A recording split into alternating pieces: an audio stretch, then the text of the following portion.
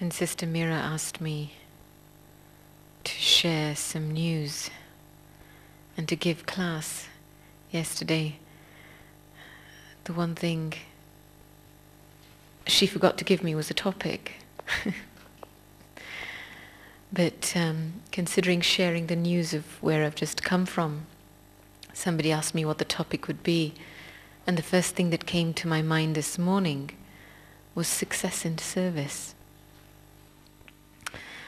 I've just come back from um, four days spent in Baba's new retreat center in Hyderabad. Those of you, Hyderabad is in, is in Andhra Pradesh, South India. Not the Hyderabad in Pakistan, um, but the Hyderabad down. And the name of Baba's retreat center there is called Shanti Sarovar.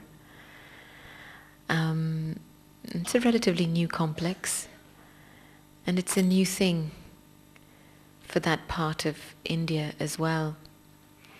And one of the interesting observations about Hyderabad,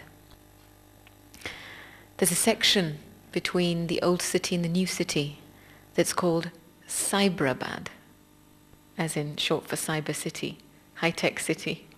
Hmm? Hyderabad and Bangalore, or now known as Mangalore, are two of the most well-known cities in India for high-tech. You'll find every um, known company um, to computers and IT software under the sun in those two cities. And Baba's retreat center is very well located in Cyberabad, and it's right in the heart of the high-tech city. And so the potential for service in the nearby areas is absolutely tremen- tremendous because right next door to Baba's retreat center is um, the the head of one of um, India and probably Asia's biggest uh, high-tech company, Infosys and Wipro. And the interesting thing about these particular companies is that as you go into their buildings, which are huge structures, they have every possible facilities for their employees to deal with every level of a human being's welfare the physical. They have workout gyms. They have um, rooms for resting, relaxation, where they have meditation music. They have, um, you know, emotional counseling areas, everything except the spiritual. And one of the interesting developments in Hyderabad has been this whole area of now companies coming forward to recognize what it means to address the spiritual element of this, and now they're turning towards the Brahma Kumaris for this. And so part of the tour was um, going in to these companies and meeting with employees and conducting seminars, and not just seminars on just positive thinking and, you know, our usual, um, if you like, public-facing seminars, but very much seminars at the heart of what Raj Yoga meditation is about because there's a tremendous thirst for this, um, especially in these companies. So that was part of the other tour, but the other half of, of my tour is very much, as some of you may know, um, I, I help out in Baba's service, especially with the youth. Not only just the young BKs, we have a forum starting soon on the 25th, but also um, with young people on a Lokik level. And so as per that, the Hyderabad family had arranged a tour of visits to colleges, to universities, um, as well as a one-day retreat for their youth. And what was so interesting to note is that imagine walking into a classroom, well not into a classroom, it was a hall about, probably about twice the size of this, one of the colleges, and being met by whistles, being met by loud cheers, being met by students absolutely going crazy. For about 10, 15 minutes, a group of about 800 to 1,000 students, totally in total chaos and riot. And then the magic of Baba's energy and power.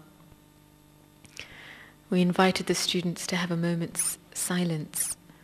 And in that silence, it was like total chaos to total silence, total peace. And mostly a lot of these young people were aged between 15 and 25. And one of the things that came out most from our sessions with them is the extremely high level of expectation and pressure that especially young people from an Indian background face today. Often parents in families have extremely high educational expectations of their children. And um, now the highest rate of suicide is within universities um, in this country. And so the pressure to perform and the pressure to achieve is something that dominates especially young people within the Indian culture.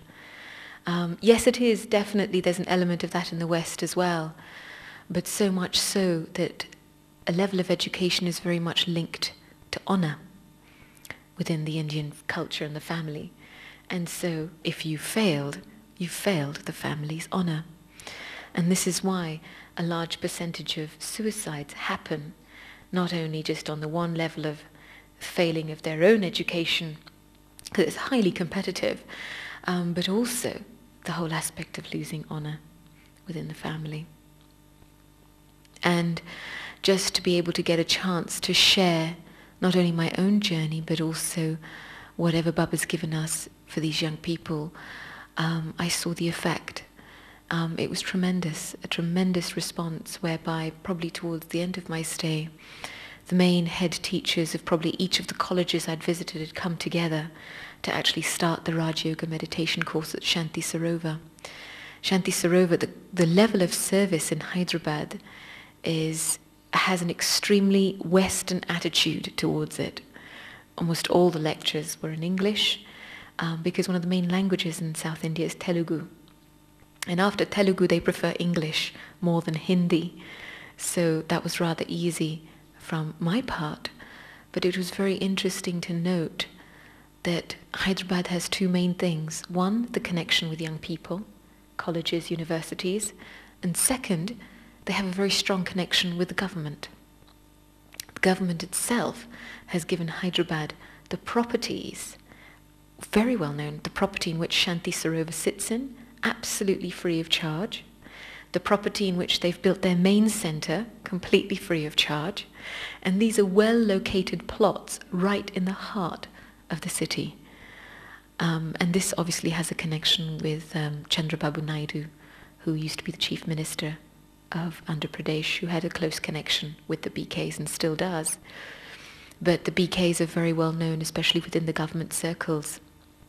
And having met two of their senior diplomats towards the end, the need very much is the need to address spiritual development. They have all the other levels of development, mental, physical, emotional, but they now ne- recognizing the need for spiritual development and this is where the Brahma Kumaris are coming into play.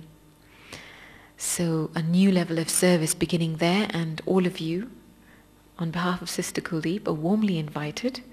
Hyderabad is soon to become an international airport um, and definitely an international presence there will have a profound effect on service. But from my own part of this whole journey, being involved in service really helps to fine tune what it means and what is needed to really bring about success. Because when we look into mainstream service, there are so many organizations on the one hand that do very good charitable work, that, you know, help people, that run seminars as the BKs run seminars. And yet, I found myself reflecting quite a lot what makes us different? And this, I feel, is probably one of the main key things that, if this was developed, would truly bring the Brahmakumaris onto the world stage in a, in a big way. Because we have two ingredients that separate us from mainstream organizations um, in a very practical way. And these particular ingredients, when they're developed not only on a personal spiritual level, but on a practical level too, provide a very powerful force for us to take Baba's message across.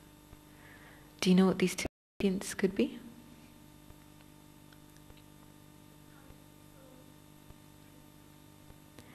Knowledge of the soul and the Supreme Soul.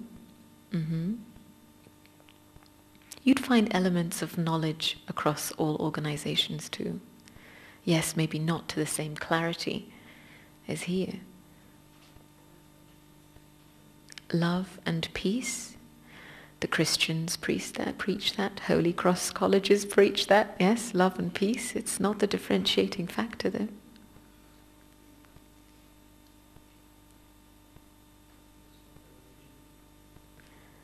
This isn't a religion. Yes, it's not a religion. We know it's not a religion, but outside they don't know it's not a religion. Something that's two aspects that are clearly identifiable. One is purity, and the second thing?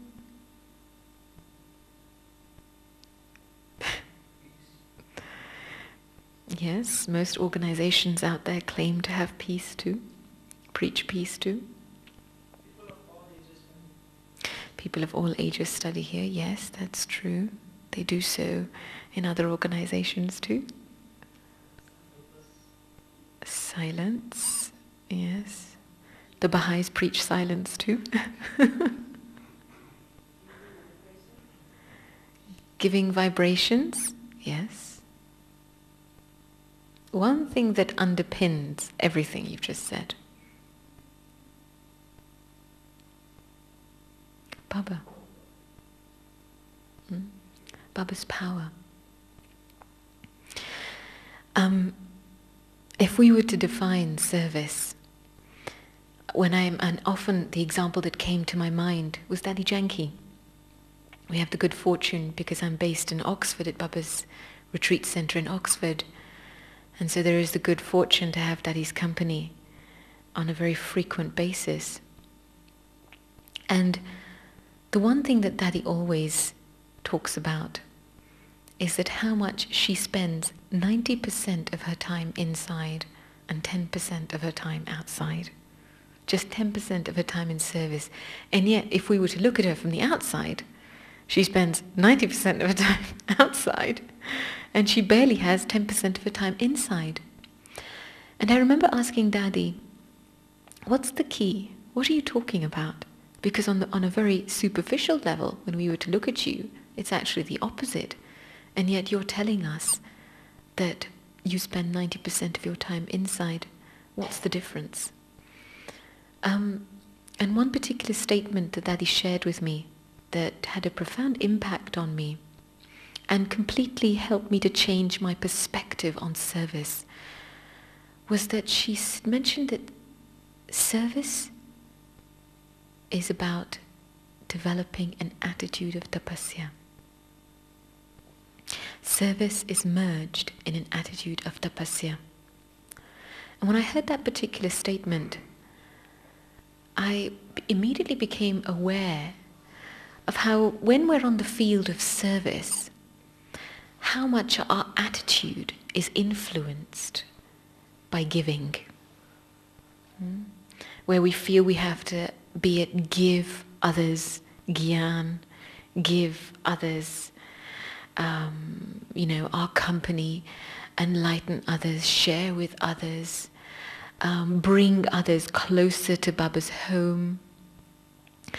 How much of our attitude is influenced by giving rather than actually the being?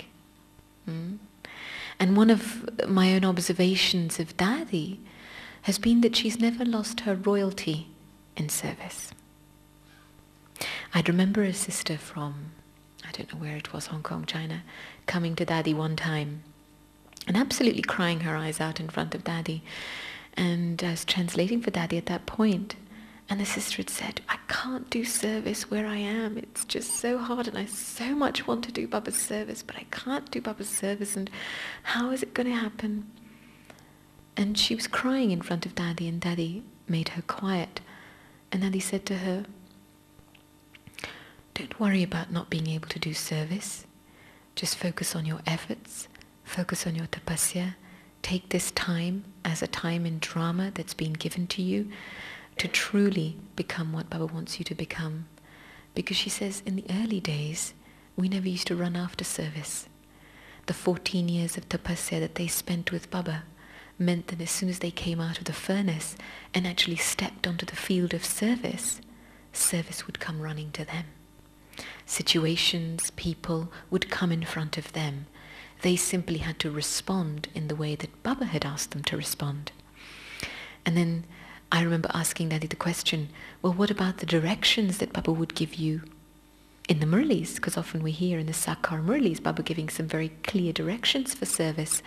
How would you approach that? Would you feel that you would have to go out and do something? And Dadi said no.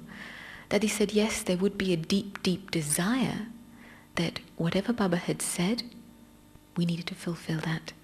That was the starting point in service that whatever it is that Baba wanted me to do, let me make myself available and be an instrument to do that. And she said that was the bhavna that they ground deep inside them. And all they did was kept an aim. And often, Dadi would say that because of that bhavna, because of that aim, the right people would come in front of them, the right situations would come in front of them. They never had to run after service. And this was an aspect that attracted me a lot, a lot. A whole aspect of maintaining my personal dignity and royalty in service. Because people in the world outside, organizations in the world outside, it's what makes us different from them. It's our expression that makes us different from Lokik people out there. We're not just social workers, um, but we're spiritual social workers. It has a very different meaning. So coming back to these two elements, the power of purity and the power of Baba, the power of Baba's remembrance. And reflecting on these things, one of my first observations was that when I was able to define service as developing an attitude of tapasya, suddenly everything became easy. Mm-hmm. Because often um, especially if you are in a situation where maybe you're in Baba's centers and to a certain extent have a responsibility. Obviously, wherever we are, we want to share Baba's message. Um, sometimes situations can happen, sometimes it can feel like nothing's happening, or if something's happening, it's moving very slowly. And in those times, what do you do? Rather than let thoughts of maybe weak thoughts or thoughts of hopelessness take over, the interesting thing is to shift right back into this attitude of tapasya, where everything is in my hands.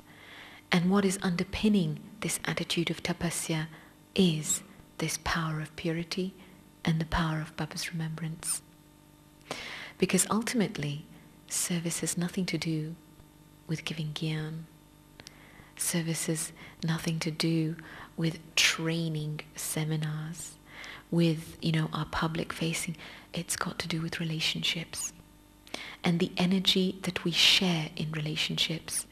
Baba has often told us in Murlis that Baba himself came and he revealed himself to his children. And now it's our turn to reveal him to the world. Hmm? That's the pattern. It's not that God is going to reveal himself to the world. He's done it to us directly. And now it's our responsibility to do that to the world. And this is why picking up on Baba's last Murli, where Baba very much emphasized the need for our fortune to reflect through our face and through our behavior. Why? Because that is how Baba is going to ultimately be revealed.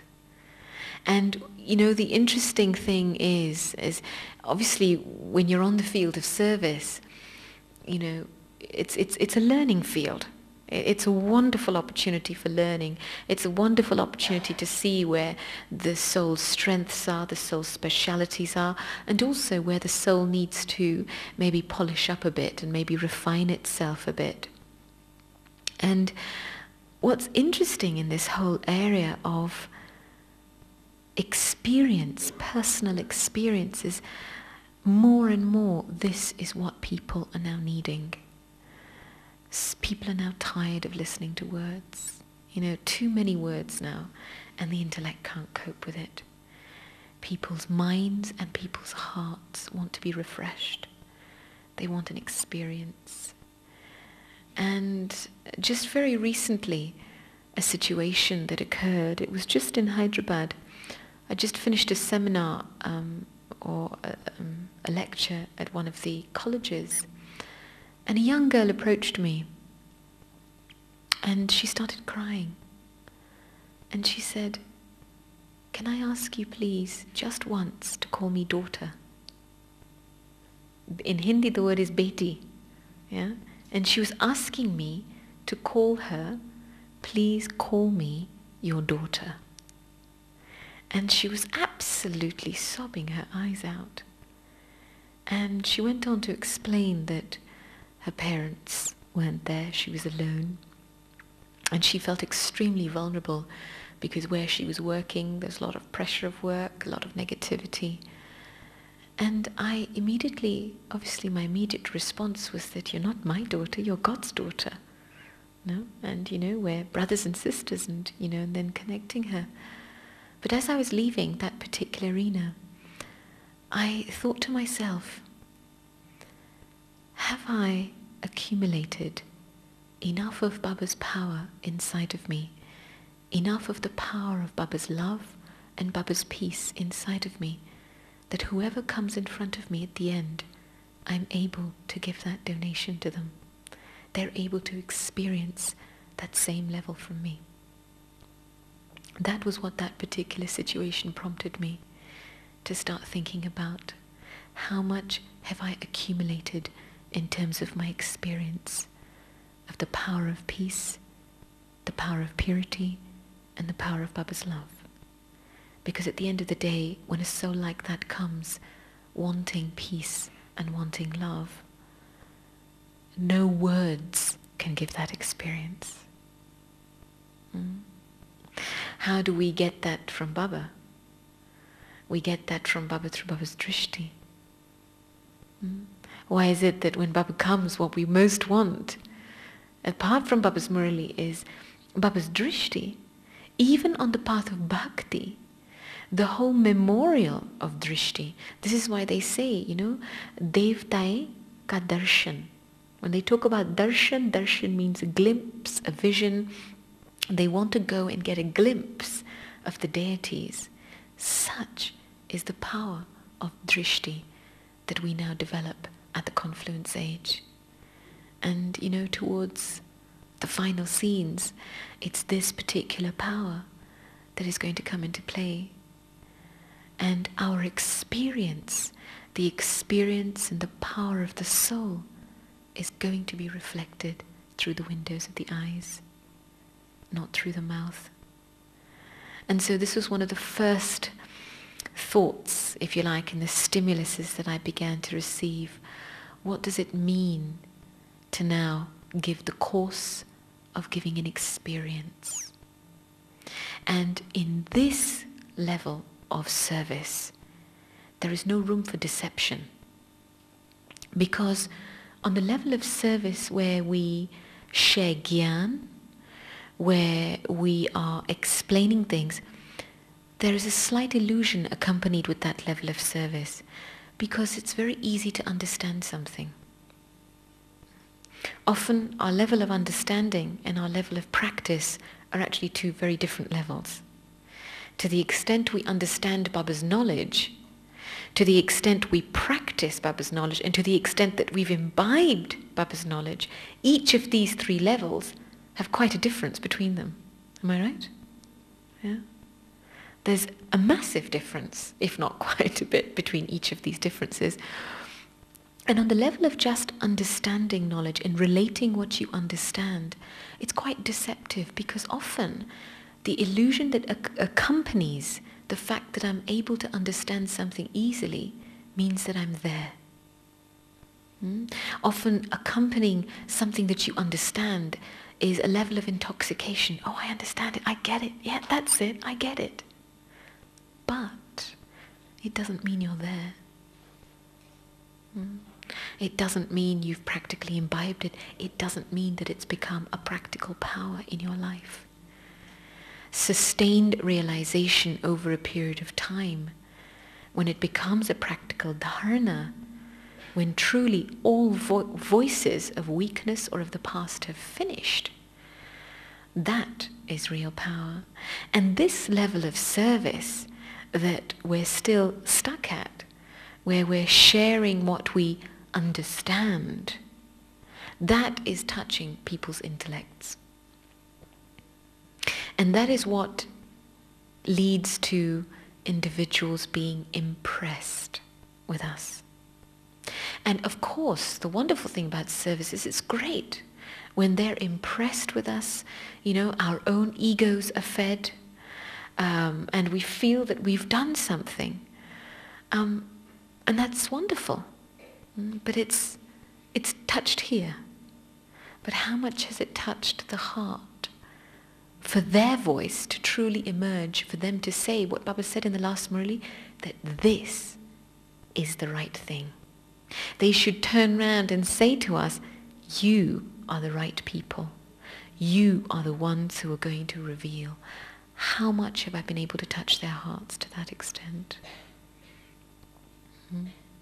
And of course, on the level of being impressed, um, their egos are fed, our egos are fed. And this is, let me, I mean, this is a natural part of the journey of service. You know, it's, you, you don't enter the field of service and, and you're not there immediately. You go through these steps, and, and what I'm sharing is just my own observation of these steps where at some point in my in my on, on, on my service field and in my relationships I was seeing that people were being impressed. But that's where it was stopping and I thought, well, I don't feel that I'm really doing the service, the kind of service that Baba would want me to do. It's not honest service. Where I'm still taking a commission from service, that's not honest service. Taking a commission from service means feeding my ego from the service I do. Hmm. And that was one area that I felt that that really from my heart was an honest service. And it was that that prompted me to explore a deeper level, to turn back to Baba and say, okay, now where do we go now? And so these are just, if you like, markers on the way. You know, we can choose to either remain at that level and continue to be fed at that level, or we can choose to see them as a signal and go deeper and deepen our level of tapasya to truly, truly break that ego. Because on the service field, if there is anything that creates limits on in our areas of service, it's the whole element of our ego. It's our ego that very much prevents our attitude from not remaining in attitude of tapasya, not remaining in attitude of introversion, not remaining in attitude of tension. It's our ego that takes us outside, that makes us start looking at others, that makes us start wanting to get, in a very subtle way, to take commission from service. It's our ego that takes us out there and makes us action conscious. Hmm? One of the other subtle deceptions in service is the whole area of action consciousness. Because karma brings its own fruit. It has to. It's the law. Whatever I do, I will receive a return for that. But that return is only temporary if it's done from this consciousness, if it's fed through my ego. It's a very temporary return. And the more service I continue to do, the more my ego will be fed. I'll feel. But the moment that service is taken away from me, what was today's blessing? Did you all hear Baba's blessing from this morning? A very powerful reminder that if you don't maybe receive those opportunities in service, what's the real service? The service of our dharana, the service of our remembrance. Hmm? But the moment we get involved in service and that service is taken away from us, what do I feel? If there is any sense of loss, any sense of pain, any sense of emptiness, then understand that all the service I've been doing up until now has actually been of very little value. Hmm? And so a clear, very clear indication that moving beyond the pull of action is extremely important. And this was one of the first elements I felt in terms of maintaining my royalty in service. Not being pulled by actions. Yes, we have to do what we have to do. We have to enable things to happen, but not lose our sense of dignity and royalty in that. Um, Dadi Gulzar, I'm just, I'm just kind of coming off track before I come back on track again. One time a small group of us had gone to Dadi Gulzar and asked Dadi, um, you know, we do all this and we have so much service and all of this, but you know, why is it that Baba's remembrance it doesn't stay? And Dadi gave a very simple answer. You know, she said, there's nothing majorly wrong with you.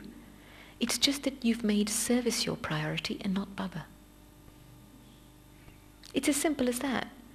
You know, when I write in the evenings, when I write a things to do list for tomorrow, what do I put, put first? My ironing, my washing, or do I put Baba first? On my list of my priority list, what's the first thing?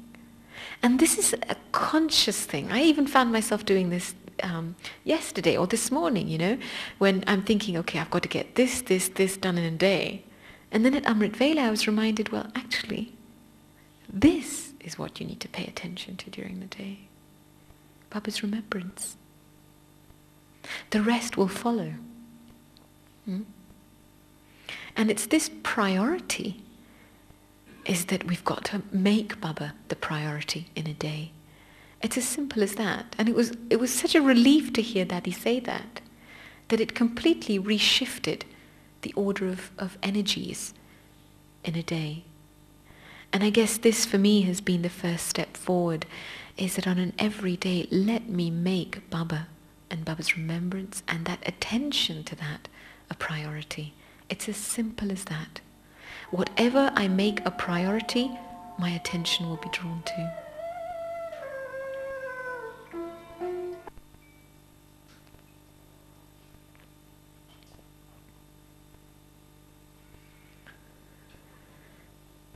So, making Baba a priority.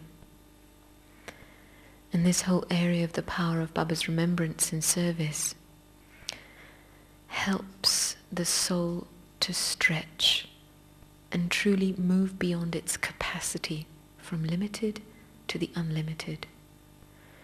Because often when there isn't that attention to remembrance, then the sense of I am responsible that feeling of responsibility that can take over whilst performing actions or whilst doing service. That feeling of responsibility makes me limited, puts a limit to my capacity. Mm? Where when it gets to some a certain point on the level of service where I can't do any more, or the pressure builds up and I feel I can't do any more. But the whole area of learning to make, from my own experience, making Baba a priority in my life, having that attention to remembrance, has given a very strong feeling that Baba is my support in service. And very much, and especially these last few days, a very deep feeling that every time I sit in Baba's remembrance or in any task, there's the feeling from Baba that Baba's saying, child, it's okay, I'm sitting here. I'm right next to you. I'm sitting here. I'll take care. And that very feeling of safety, of protection, of comfort, of Baba's presence helps the soul to step outside these parameters of these kind of thoughts that lock a soul in its own limit limitations. And truly, when we're able to step outside this box of I feel responsible, Baba can do his magic. Because ultimately it is Baba's task. And you know what comes to mind is, is asking Dadi Janki the question, is it true that whatever situation that comes in front of you, be it on the field of service, on any level, you will only, the only, a situation will only come in front of you according to your capacity? Is that true? And do you know what Dadi's answer was? No. She said no. She said otherwise there would be no need for God. And it's true. You know, we work in our limitations. Baba's come to make us unlimited. And it's with his help, his power, that we step out of the limits. Because it's ultimately, it's his power that's going to get it done. My energy will take me so far in service, but Baba's energy takes it even further. And this is another observation from Dadi, that she never uses her own energy. That he never expends her own energy.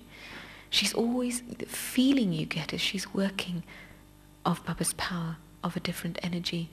And this is a very, for me, has been a, a very important thing to, to develop in my efforts. Learning the art of using Baba's power in my actions and in my service. And so this whole area of Baba's remembrance is, is crucial to stepping out of the limits. Because, you know, when we work in our limits, it's great, it's comfortable, it's rewarding to a certain extent, but we're just experiencing a drop. There's an ocean to be experienced, and we're just happy with just a little drop. You know, one little drop of something, and oh, wow, I'm great, I feel good, this is fantastic and we completely miss out on an ocean of experience.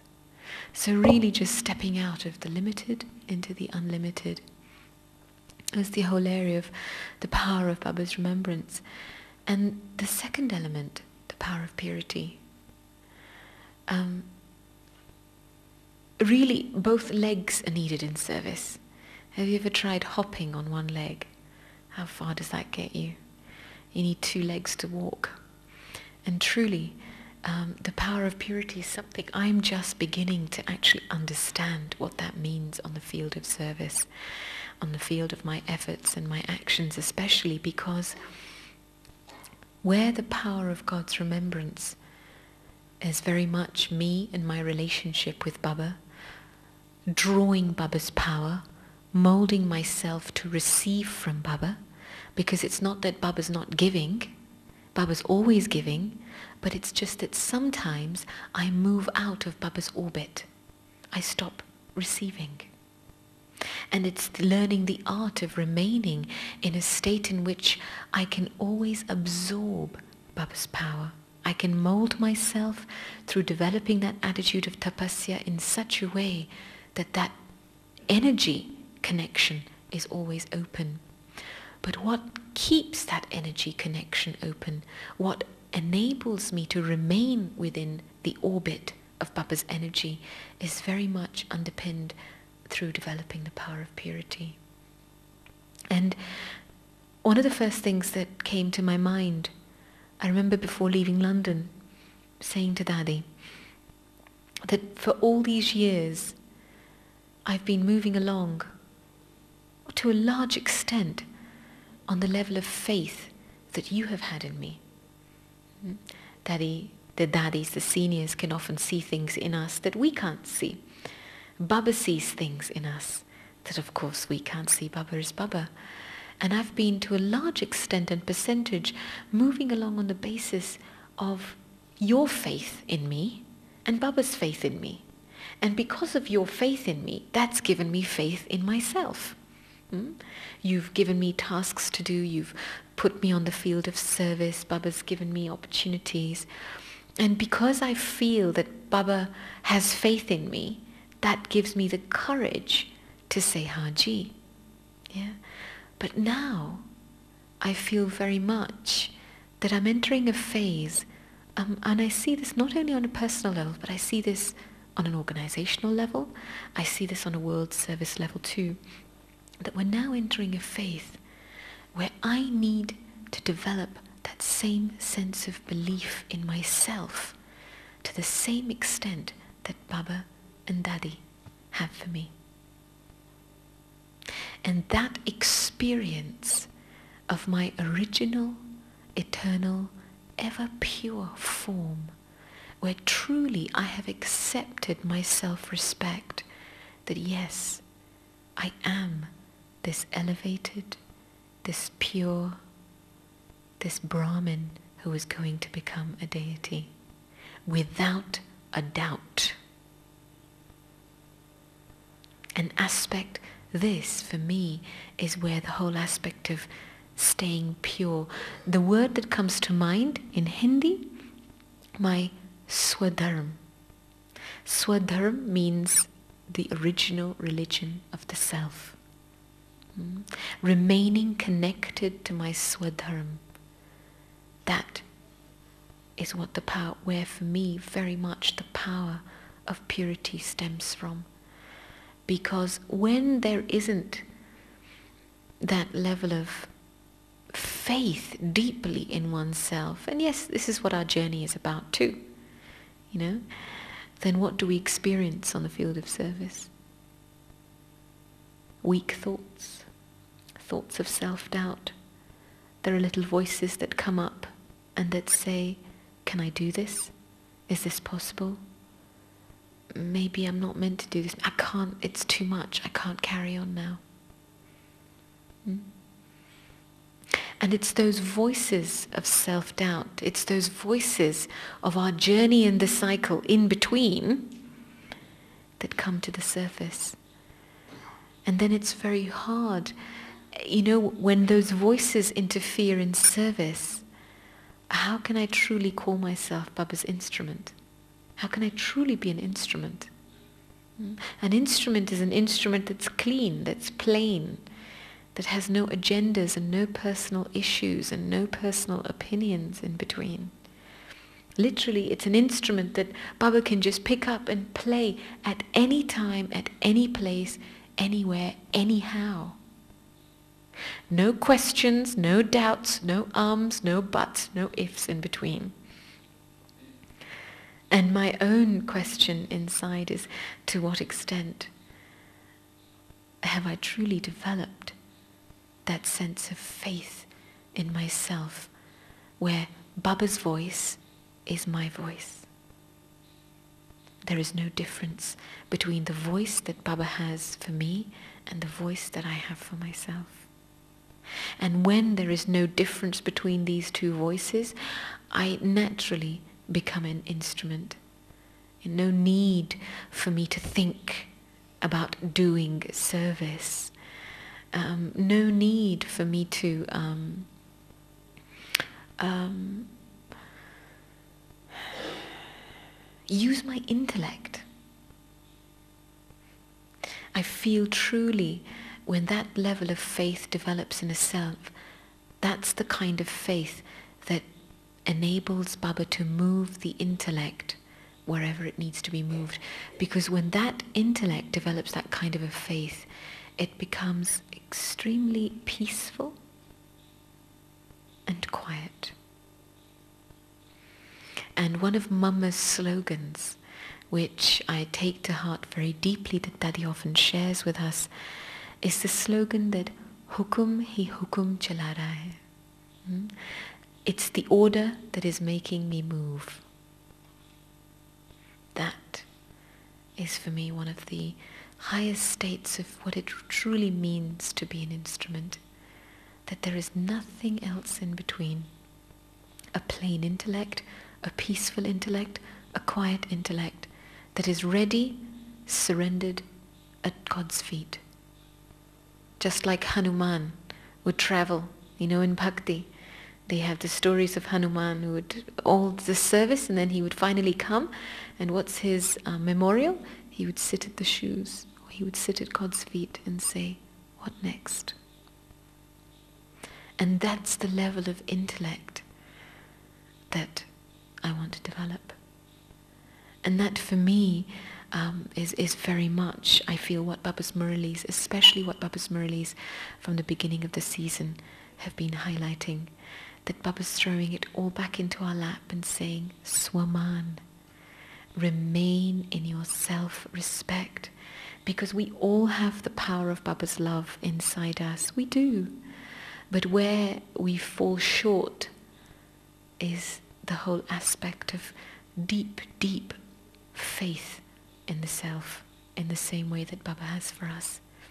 And when both of these, when this power of purity, the power of my own purity, my own self-respect, of my swadharma, accompanied with the power of Baba's remembrance, the fortress of Baba's remembrance, makes us totally invincible on the field of service and puts us in a very powerful position to influence change on a very deep level. Hmm?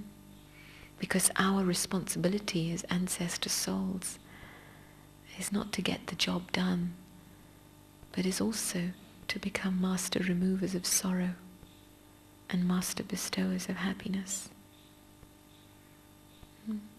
And that's a much, much higher and more profound level of service than just to give a lecture and just to share a few words.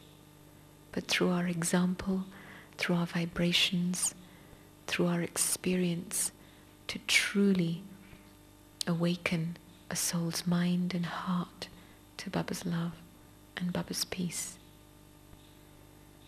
And the curtain is about to open. I'm just looking at service on every level. What Baba's been talking about in the Sakar Murlis, it's happening. And it's happening all of its own accord. Let me tell you. We're not doing, we're hardly doing anything to get the machinery running. It's now drama time is speeding up and service is going to happen, it's fixed. But that's the race. Am I keeping up with the race or am I lagging behind? Is my stage up to it or is it lagging behind? Because when that curtain opens, am I ready to face the world? What is the quality of my stage? And then by that time it's too late. Whoever I am, whatever I am, that's it. Baba said to us, the too late board hasn't gone up yet. There's still time.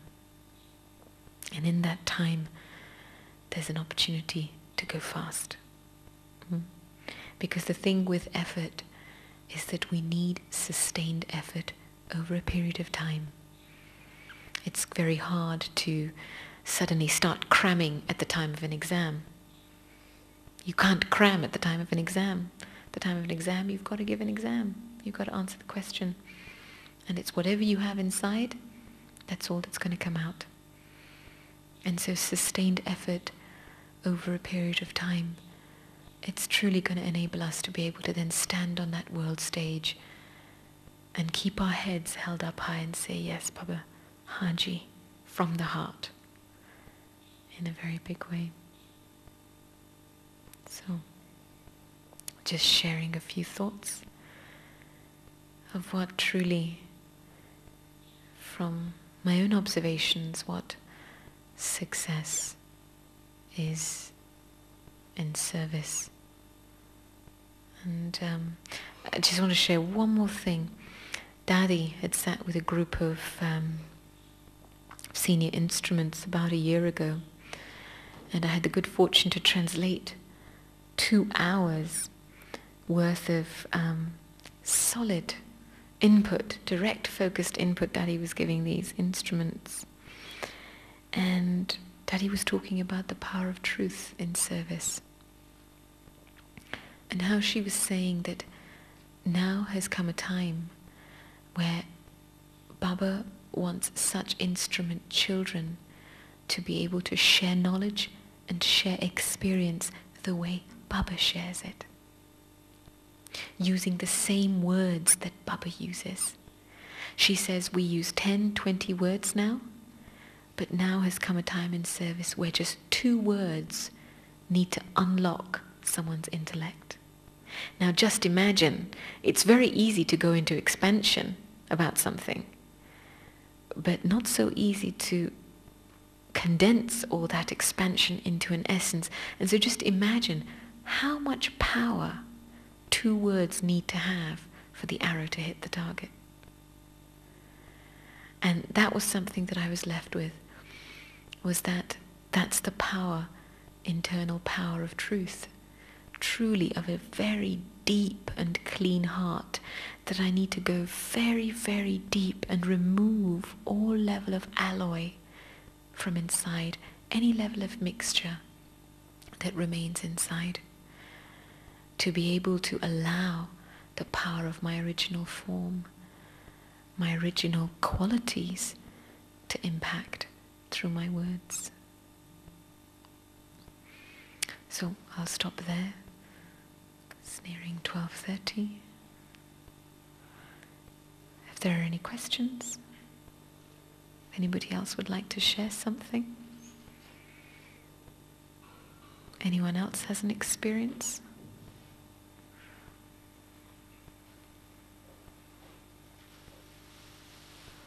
Was that clear? It was kind of to going back and forth, but this is now the area. So, shall we finish with some meditation?